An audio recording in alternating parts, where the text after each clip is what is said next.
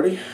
This is Jonathan Dorn, CPA, licensed CPA in the state of Florida, strongest CPA in Florida of CPA strength. Well, I'm trying to be the strongest CPA in Florida. We'll see. But anyways, um, I think on my last video I had two different people request that I do a video on what order to take the CPA exams. Now, we're going to do two caveats on that. Okay? Um, I guess first caveat is on all these videos, these are just my opinion, and I'm nobody. Okay? I did pass the exams, but you know these are my opinion. I'm not saying you should do this. I want to reiterate that just my opinion, okay? Just my opinion. Second one is I don't really think it matters too much. But now, um, for for quick, I'll give you. If I was, if I was, if I, if I was to do it over right now, I would probably do BEC first, then reg, then audit, then FAR. Uh, why did I say that? Why would I do it like that? Um, because I would I would just get used to everything and there's two these two exams BEC and reg are three hours long and audit and FAR is four hours so I would do the three hour ones first, get the three hour ones out of the way first. Um, again, that's just me. And then why would I pick BEC um, over Reg? Well, because BEC is the only one that has uh, written communication on it, and that's worth 15% of your grade, while the multiple choice is 85%. Uh, the other three exams, Reg, Audit, and FAR, they all are worth 60% uh, multiple choice is worth 60% and 40% uh, of your grade is, is the simulations. So, um, what did I do? Uh, when I did, I did, I did FAR first, then reg, well failed FAR, failed reg, passed reg, then took BEC. So, uh, I was used to doing the simulations. I finally passed an exam. I got decent at the authoritative literature and had to access it all. And then I had to just go away from that and do the written communication with BEC. So I think if I could do it over, I would uh, do BEC first, hopefully pass it, uh, and then you don't have to worry about the written communication. Then everything left is uh, simulations. But um, let's see. Um, and uh, I th I thought BEC was easiest. Audit was second easiest. Reg was third easiest. Um, FAR was the hardest for me. Um, I guess there's two two different schools of thought.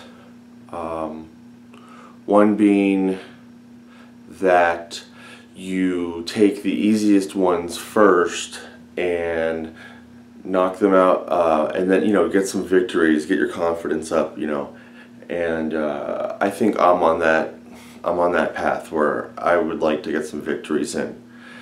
Now conversely if I mean well in that one if that vein in that vein if you take the easy ones first and you pass pass the easy ones and then you take the hard and then you take a hard one at the end like if you save far because far is really the beast I think. I don't know. I think most people say far is the beast. If you save that for the end and then uh, and failed a few times and then uh, stuff starts expiring and it's gonna get a little stressful. But I would go that way.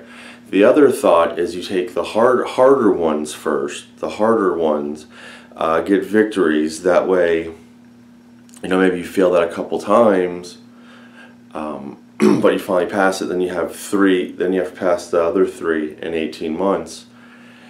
And, um,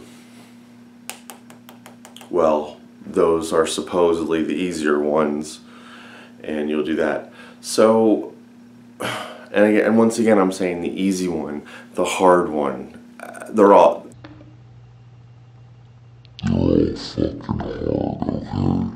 I mean, for me, they were right. Uh, I don't know. They're all fucking hard.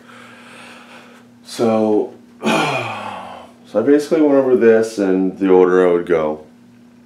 Now I just we'll go over some other stuff. Well, it's already five minutes long. Um, yeah, well, we'll just go over this really fast, and if somebody wants me to explain something further of anything, just uh, drop a drop a comment down there because I do read all the comments. I love the comments. Um, you know, I just do this to try to give back and help. Uh, it's kind of fun after a long day of work. So, anyways, um, so you have to pass all four in 18 months. So basically, you pass the first, that you pass your first exam, and then you have a year and a half to pass your other, the other three, and uh, if you if you don't, uh, credits start expiring. Like let's say you do well. We'll just leave it at that. Credits start expiring uh, after 18 months, so better pass it. Now, when can you when can you take the exam? There's four different testing windows. Testing. These are the test testing window one is the first quarter, first three months. Uh, second window is the second quarter. Third window is third quarter. Fourth window is the fourth quarter. Now the third the third month in every quarter is called blackout month, and you cannot take the exam that month. Um, they don't they don't offer this. I don't really know why, but they don't offer those that month. So um, you can really only take the exams for eight months out of the year. And one additional thing is you can only take uh, each exam per window. Like you could take, you could take, uh, remove it now, okay. Let me get, let a different, get a different color here. So anyways, you can take, um, we'll say in the first testing window, you can take BEC in January, you can take REG in January, uh, you can take audit and FAR. Now you can you can take them all in the same month. Uh, you could do obviously these you know, you, you just can't do, you can only do one, one section per window. You, like if you take, if you take BEC in January, you can't take BEC again until April or May. You know, April or May. Um, and then, you know, you can only take it once per window. each fat ass head each section once per window. But anyways, uh, ooh, we're at nine minutes. This is definitely way too long. Uh, anyways, uh, I gave you, I think my favorite quote last time is that uh, if if if you don't if you don't quit, it's just a setback. It's not a failure. Uh, I don't really have another quote right off the top of my head now, except uh, you know I think everybody everybody gets nervous on these exams. I freaking got nervous. I was like, oh god, you know. I think one time I wish my car broke down on the way there so I wouldn't have to take it but you just gotta deal with it and uh, I think if you're if you can sit for the exam you can pass the exam guaranteed alright deuce